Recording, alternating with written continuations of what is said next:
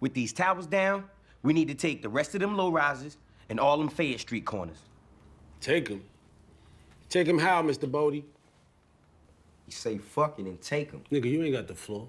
Chan recognize your ass. Take him how?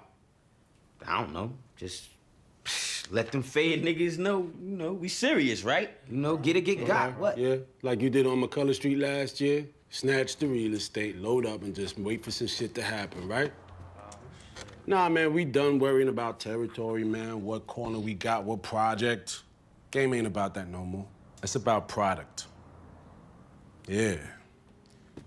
We got the best goddamn product, so we gonna sell no matter where we are, right? Product, motherfuckers.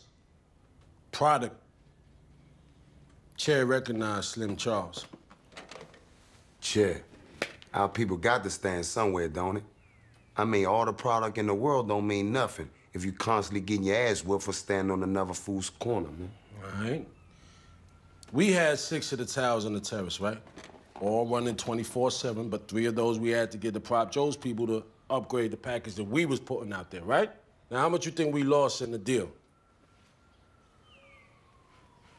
All right, the answer is we made more. Half the real estate, twice the product. And our profit went up like 8 9%. Yo, get it straight. Your territory ain't gonna mean shit if your product is weak. Go ahead and ask them motherfuckers trying to sell them Ford Tempos when you got niggas riding around in Japanese and German cars in America all day. Territory ain't shit. Especially when you consider it's the fight for the territory that be bringing the bodies and the bodies that bring the police. Yeah, but how we gonna stand? Yo, she ain't recognize your ass, man.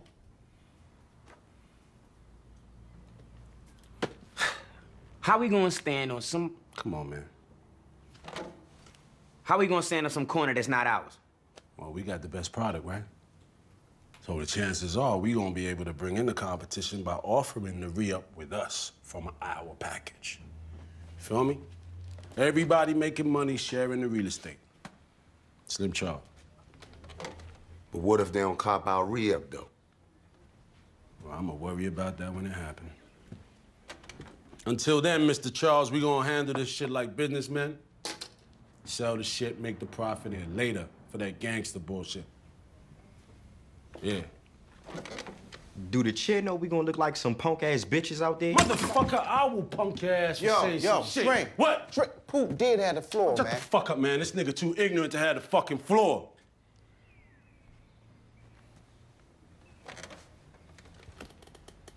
Y'all niggas need to start looking at the world in a new fucking light.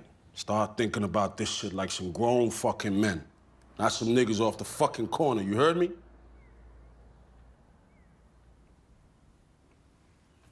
Adjourn your asses.